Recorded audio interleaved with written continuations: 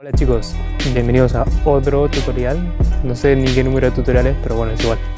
Van a aprender a, o si ya lo saben, van a mejorar cómo hacer crown flip. Bunny hop crown flip, o kick flip en inglés.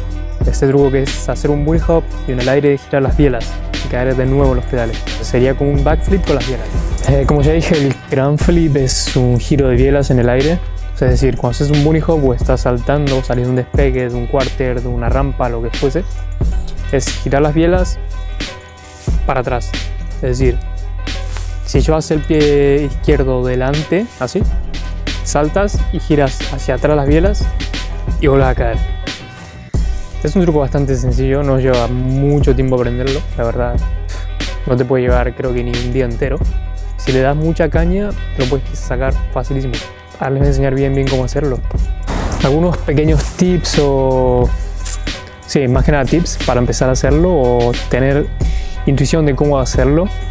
Por ejemplo, es sin hacer bunny, por ejemplo, o sea, poner en posición la postura de tus bielas, es decir, si montas con el pie izquierdo adelante, así, o si montas con el derecho adelante, así, y subir un poco la biela derecha, en tu caso, si montas con pie derecho, y hacer el movimiento este, como con el pie, bajarlo un poco y con esta hacia atrás. Entonces golpeas, haces como una patada atrás y vuelve para que tengas noción más o menos. De todas formas, esta es la teoría, ahora lo voy a explicar bien en la práctica, paso por paso y ya está. Pero en sí es eso. No tiene, no tiene mucha complicación.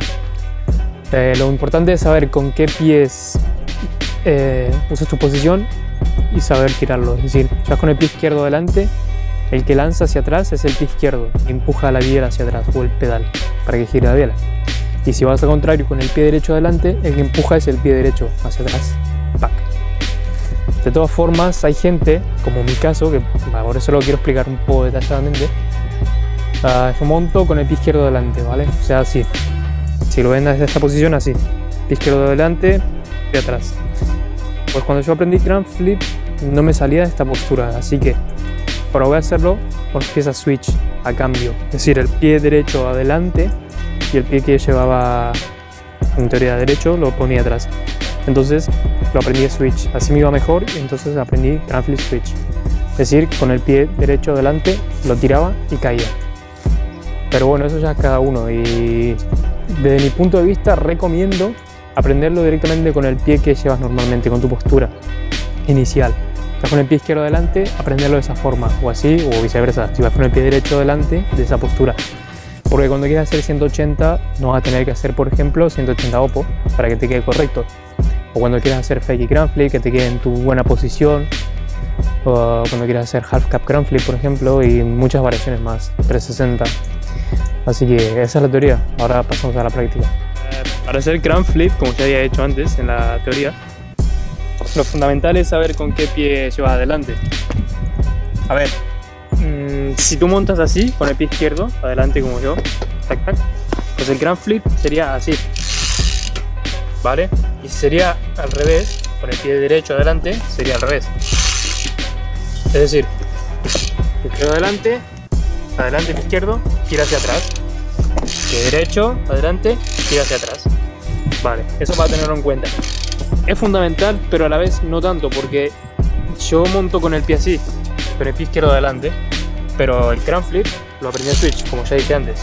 Entonces puede ser fundamental y puede ser que no los puntos, por qué era fundamental y por qué no, lo dije en la teoría, así que no lo voy a volver a repetir. Una de las claves para el crane flip yo creo que es al momento de tirarlo y ya practicar como dije antes afuera la bici, es decir, hacer este movimiento afuera la bici, tac, tac, tac, vale. Una de las claves para mí al momento de tirar el crane flip es subir una de las bielas, subir la que llevo delante más. Para que cuando lo vaya a hacer el bunny, este pie, o sea la punta del pie, esta parte, se encaje aquí y puedo hacer la fuerza necesaria para tirarlo atrás. En cambio, si tú lo tiras recto, así, no verás que no, no te van a hacer esto los pies. Y no vas a lanzar nada. Literal. Así que eso es algo muy importante a tener en cuenta. La biela más arriba que la otra. Y ya está, y volverlo es una tontería. Es el tiempo que estás girando en el aire. Lo único que tienes que hacer es mirar los pedales o las bielas. Y cuando vas a girar, pies, y ya está para que te ayude a, por ejemplo, a, calar el cráneo, los pedales o los pies, te recomiendo que aprendas no sé, no foot, por ejemplo, sacar los dos pies y volverlos. Porque al fin y al cabo el movimiento es el mismo, solo que estás pateando, o sea, una patada hacia atrás en las bielas para que giren, pero el resto lo mismo, los pies los tienen en el aire, o sea que es igual que caer un no ¿no? O sea que eso, más que nada, o sea, no, es, no tiene mucha complicación el canal, la verdad. Ahora le dejo un pequeño clip que, que va a grabar Alexis con el ojo de pez. Y ya está, no hay más. Así que eso es todo.